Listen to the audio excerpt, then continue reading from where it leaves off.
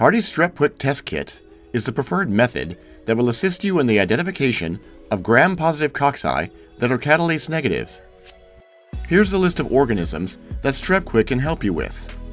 The best feature of StrepQuick is that it takes only 10 minutes to complete. It consists of three reaction wells, PYR, LAP, and esculin. There is only one developing reagent that is needed. Here's how it works. Moisten each of the three reaction circles with a drop of water. Be careful to use only one drop. Inoculate a paste of your test organism on each well. Take your inoculum from colonies that are well isolated and from 18 to 24 hours old.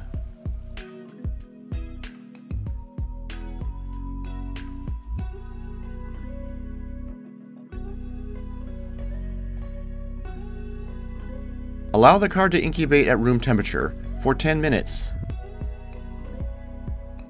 When the 10 minutes are up, add one drop of chromogenic developer to the first two circles, which are the PYR and LAP tests.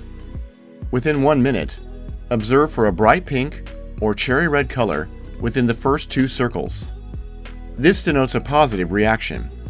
Any other color would be interpreted as a negative. For the third circle, which is esculin, observe for any darkening of the reaction by no more than 15 minutes. Any development of a gray color would be considered a positive reaction. After you record your results, then look at the identification chart provided with the kit and match up your test results.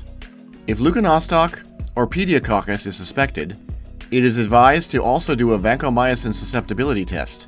This test is not included with StrepQuick.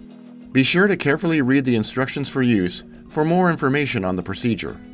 Now that you see how easy and fast it is to perform the test on Hardy StrepQuick, we hope that you will agree that StrepQuick represents the best way to identify your gram-positive catalase-negative cocci.